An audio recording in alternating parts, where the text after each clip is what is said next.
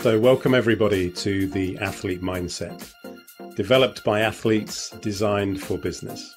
Hi, everyone. I'm Mike Shaw. I come from a background in freestyle skiing, more than 10 combined years, first as an athlete and then as a high performance coach. My job was to put some of Canada's top athletes on top of the podium. Hi, I'm Stuart Innes, a British Olympic rower, um, world and European medalist. During my time in elite sport, I learned a huge amount about high performing teams and how to make teams better. Hi, I'm Rachel Findler, former professional extreme skier and entrepreneur. In 2019, I set up my own ski adventure travel company, and during 2020, I'm learning the hard lessons that COVID has brought to business. I've been using the skills that I've learned as a professional skier, such as resilience and managing fear and operating in an unknown environment, to help the success of my ski travel business.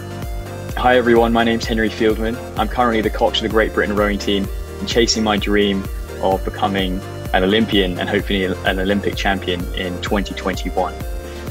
My role as coach is a, a unique role in sport in that you're in the middle of the setup. You're kind of a leader, you're kind of an athlete, you're kind of a coach. And during my time in that role, I've learned some tremendous lessons in the field of leadership, and I'm hoping that today I can translate and transfer some of those to you guys. Hi everyone, I'm Tom Williams. For 17 years, I was a professional rugby player and coach with Harlequins and some of the England setup.